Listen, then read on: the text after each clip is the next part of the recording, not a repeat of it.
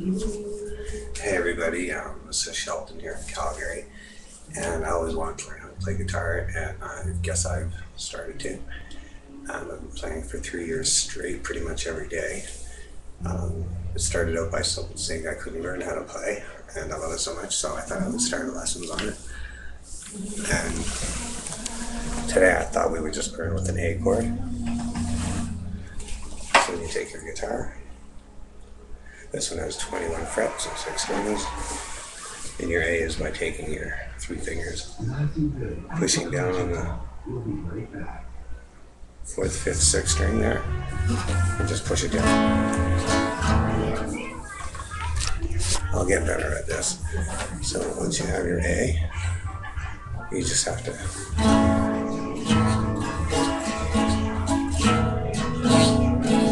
That every day for a month. And then after that, you can try and do your D. And that's by putting your fingers on these chords, strings. You push them in. This is your D. And then we're going to work to our G. So by making shapes, this is our G. But you can take these two fingers for now, and put them on the first and second string.